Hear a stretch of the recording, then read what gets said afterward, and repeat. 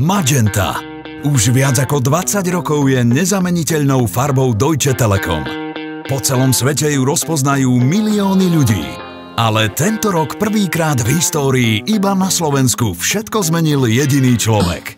Peter Sagan, cyklistická superstar, stelesnenie rýchlosti, ambasádor našej najrýchlejšej 4G siete. Minulý rok, 26. júla, opäť vyhral zelený dres. Už po štvrtýkrát. A ako sme s ním tento úspech oslávili? Sami sme sa prezliekli do zelenej. Zmenili sme náš Facebook, predajne, billboardy a TV spoty z Telekom Magentovej na Saganovú zelenú. Zmenou farby našej web stránky sme získali o 100 tisíc unikátnych návštev viac ako inokedy. Nemali sme žiadny media budget, ale konkurencia mohla aj tak ozelenieť od závisti. Telekom